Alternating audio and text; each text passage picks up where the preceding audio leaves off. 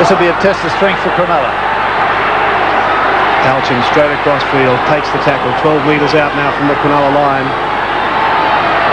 He's done, surges ahead. Eight metres out, Langmack dummy half, Tunks has it. Langmack again, dummy half.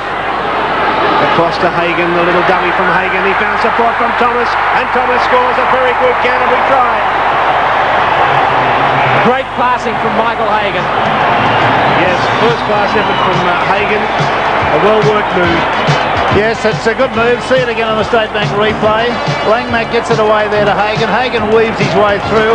The tackle is missed by Docking and Thomas goes in for a very, what I would call a soft try. Out to Hagan, throws a little dummy, goes straight ahead, then gets about four yards beyond his original position, gives it to Thomas, who backed up well on the outside, and that's a, a very solid try, but one I think that Cronulla should take a lesson from. That is not good defence from them. Terry Thomas to try scorer. Notice he had Terry Lamb outside him unmarked as well. Referee Mick Stone handled yesterday's semi-final. And Brandon Lee is coming off to go to the headbin, Bill, is he?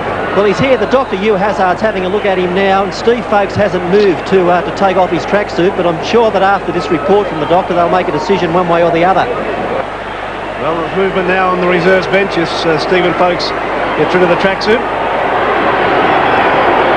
Meanwhile, Terry Lamb has other things on his mind as he tries to pilot this one between the sticks and does it successfully. So the Bulldogs move further in front, 10 to 2 over Cronulla. Brandon Lee into the head bin. For Bell and Steve Folkes warming up, already out there.